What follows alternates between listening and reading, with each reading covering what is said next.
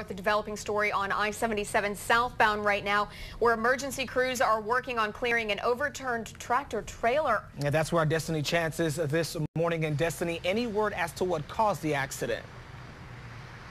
Hey, Britton Friendy, no word yet on what caused this accident, but I can tell you over five fire crews have been out here since about 4 a.m. working on the scene. You can see behind me that they are actually cleaning up debris right now. And like I said, they've been out here since 4 a.m. and until about 45 minutes ago, they were working to free a man who was pinned underneath a tractor trailer. This is on exit 46 southbound on I-77, but you can see that part of the trailer is actually flipped over the barrier.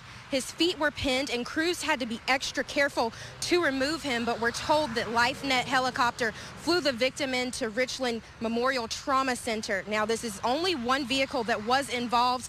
SCDOT is still investigating this, but I'm told that they will be out here at least for three more hours to clean up the scene. Now, once again, we don't know the cause of everything that's happened, but as soon as we have any more information, we will continue to keep you updated with the latest. Live in Fairfield County, Destiny Chance. WACH Fox News.